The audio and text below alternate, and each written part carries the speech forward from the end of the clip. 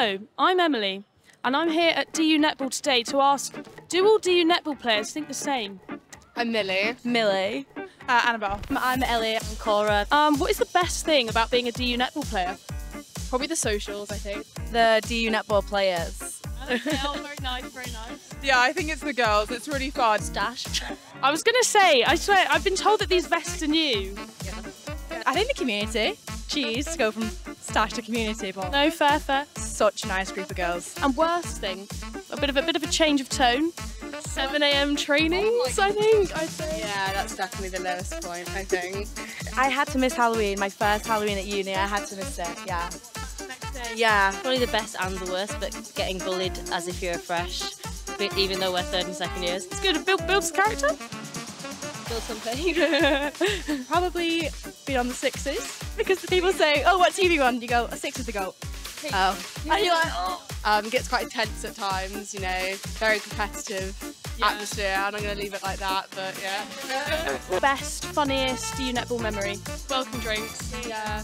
Just the socials. The socials are really good. Like really good. So just funny. One of our first games, we won by over 100 goals, and that was just really good fun. It was such a good start to the season. You- In the last match, where I did my penguin dive across court, I like to say I was tripped up, but I think I just fell over her.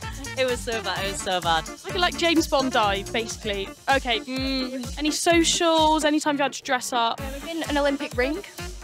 That's quite niche, but you're not in the Olympics, so you know irony Thanks.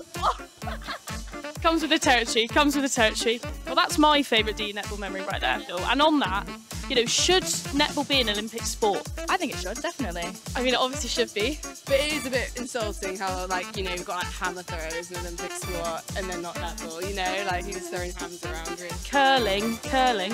Is basketball an Olympic sport? I believe so. I think netball is better than basketball, so. no, but I think if basketball is an Olympic sport, so should netball. I agree. I agree. Good logic. Um, some more quick fire ones. Favourite club in Durham? Go. Jimmy's. Babs. Everyone's in Babs. Club Vodka, we're there. Definitely there. Um, loft. Loft. Loft as well. Going to now. Oh yeah. Oh yeah. Aside from netball, what do you think is the best sports society at the uni? Touch rugby. I'm going to say cricket. I think water polo, so niche, but I love swimming, but we're also quite aggressive. Because netball's actually a really aggressive sport. Yeah, fighting with having cat fights on the court. Yeah. Yeah, it's yeah, it can be a bit catfighty. I've heard that darts is supposed to be really good. Probably. we both play darts. But Do you? we are, yeah, we're both shooters, so accuracy is there. And to wrap it up, because this will be coming out around Christmas time. Favourite Christmas song? Millie, go first. All I want, all I want for Christmas is you.